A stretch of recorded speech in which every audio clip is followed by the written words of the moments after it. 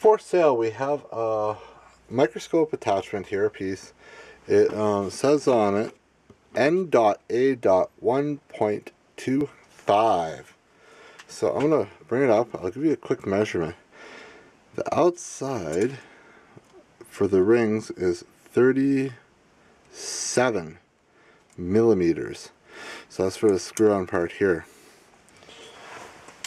Put the tape measure down. Sorry, here's a piece again. I didn't take it away. It's frosted around here. And then you get to the centerpiece.